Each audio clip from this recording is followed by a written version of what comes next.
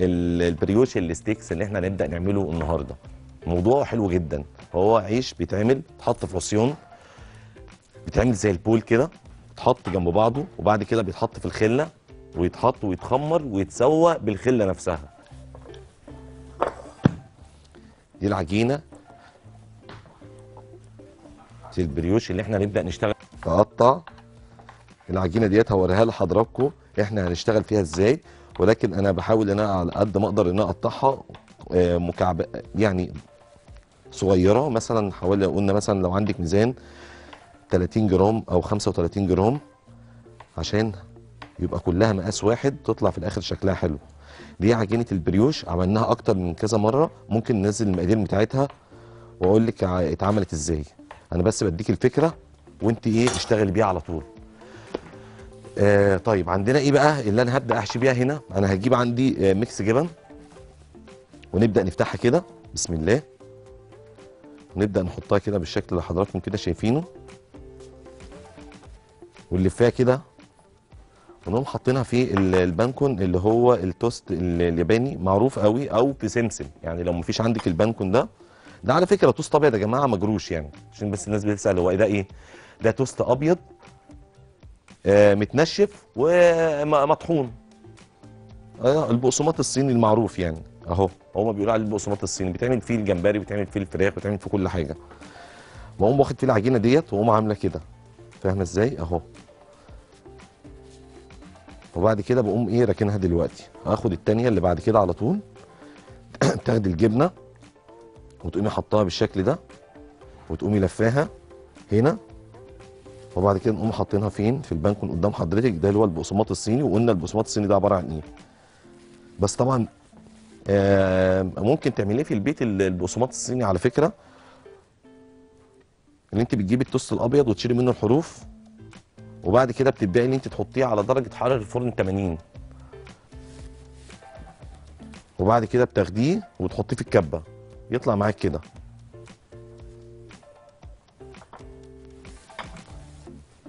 ناخد الجبنة اهيت. هننزل المقادير دلوقتي إن شاء الله. المقادير نزلت. ماشي يا أستاذ. تمام ماشي. ونبدأ إن إحنا نلف.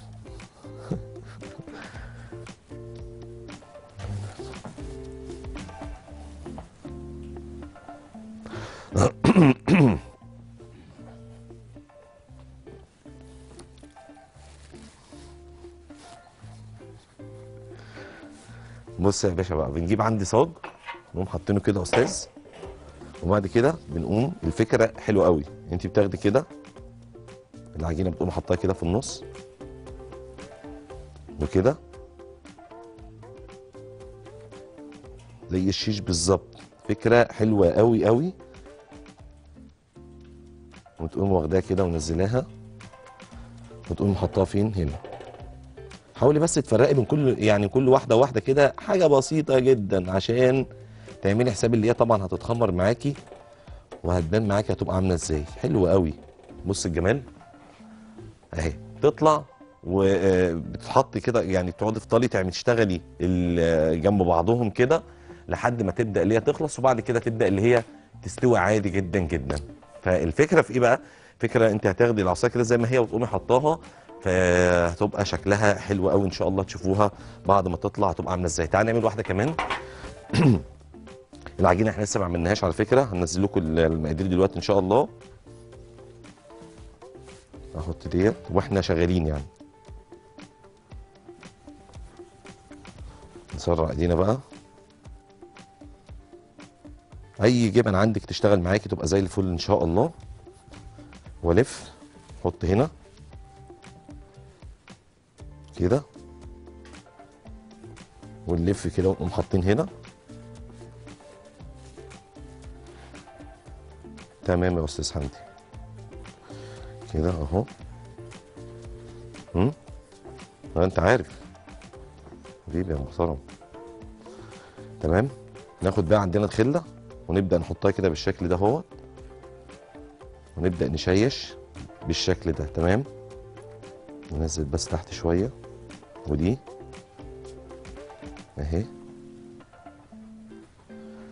وبعد كده بنبدأ نحطها فين؟ طبعا بنبعد كل واحدة وواحدة كده بنبعدها عن التانية عشان لما تيجي تتخمر معايا عشان لما تيجي تستوي معايا. طيب العجينة كانت بتتعمل إزاي بقى؟ العجينة بجيب عندي أول حاجة اللي بعمل عندي ال- البولش اللي أنا هبدأ أشتغل بيه للعجينة عشان تديني ريحة حلوة ليها. بجيب عندي معلقة كبيرة من الخميرة وعندي معلقتين كبار من الدقيق وعندي نص معلقة كبيرة من السكر وبعد كده عندي اللبن الدافي حوالي كوباية من اللبن الدافي اقلبهم كده مع بعض. مقادير العجينة قدام حضراتكم. الخميره بنسيبها إيه؟ تخمر لوحدها. جميل؟ كام بقى؟ ساعتين اتنين في التلاجة. في التلاجة مش بره. فكرة إن ال- البولش لما بيتحط في التلاجة يدي ريحة وطعم أفضل بكتير جدا لو اتحط بره. وهتخمر على فكرة. انت بتقلفليها بس كده بستريتش وبعد كده بتقومي مدخلها عندك التلاجة. وممكن تبيتها لتاني يوم على فكرة. مفيش أي مشكلة خالص. فبالتالي لما تيجي تفتحي بقى الاسترتش كده وتشم الروايح الجميلة اللي تبقى موجودة الكلام ده هينعكس على العجينة أو على فكرة. أهو. ناخد بقى عندنا نكمل بقية الإيه؟ المقادير. هاخد البيض. والنص كيلو من الدقيق. بسم الله. ادي النص كيلو من الدقيق. نقوم حاطينهم عندنا في العجان. وبعد كده بقوم واخد عندي ال- البولش بتاعنا حاطينه كده بالشكل اللي حضراتكم كده شايفينه. واتنين عدد بيض. هي عجينة بتبقى غنية جدا.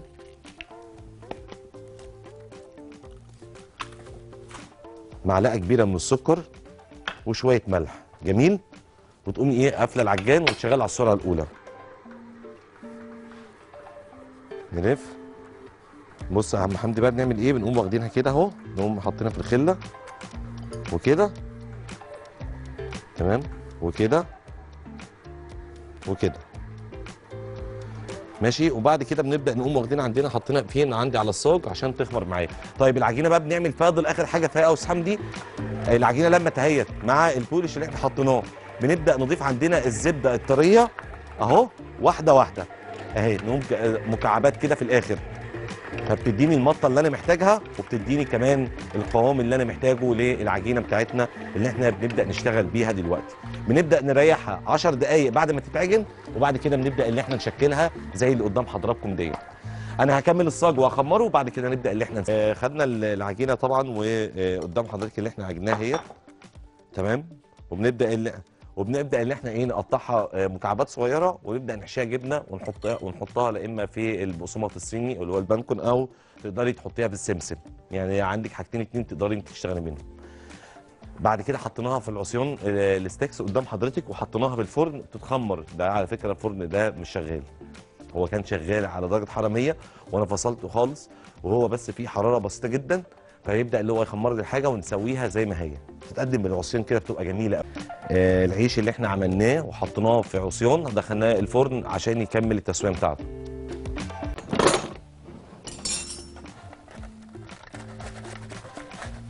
دي الفكرة يا أستاذ حمدي بقى. ده ده ده الموضوع بقى ده الموضوع. هوبا وقعت عشان أنا مسكتها غلط. جميلة جميلة جميلة.